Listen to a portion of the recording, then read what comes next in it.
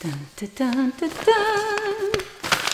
I, I can't do it, you do it. Scholarship. All right, let's just see. Mom! Your daddy would have been so proud of you.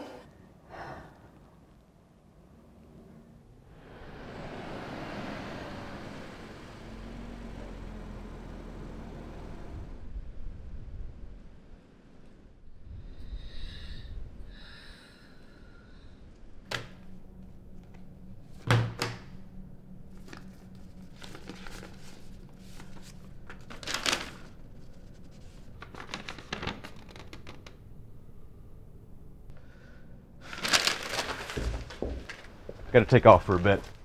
Tell mom I'll be back. Hey, Dad, can I bum 10 bucks? Not now, Seth. Dad, it's 10 bucks. Not now.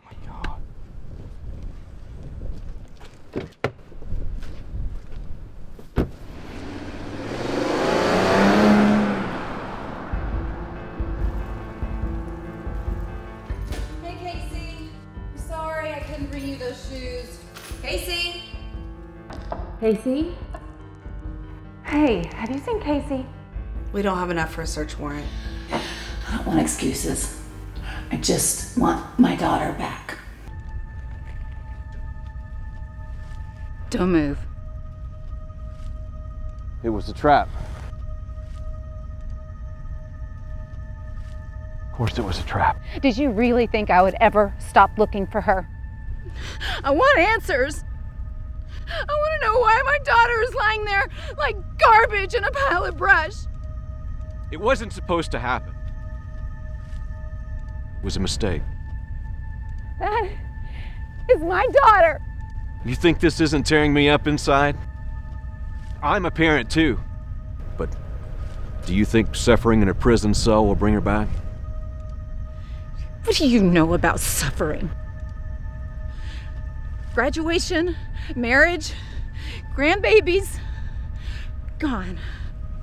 My husband has been dead for three years, and I've been doing everything I can to take care of Casey.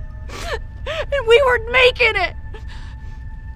She's my only child. She's all I've got. Doesn't matter now. It matters to me. You deserve to pay. He deserves a chance. It wasn't you. Seth, no!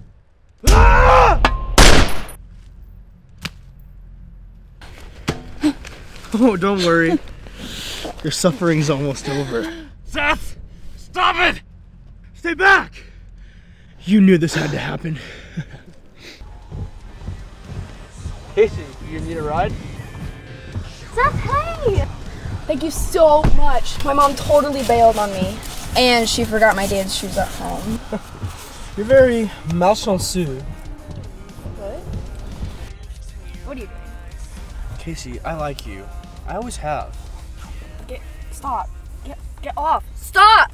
Get off of me! Stop! Get off! Stop it! Stop! You said it was an accident. Stop this! Oh, Dad. I'm just getting started.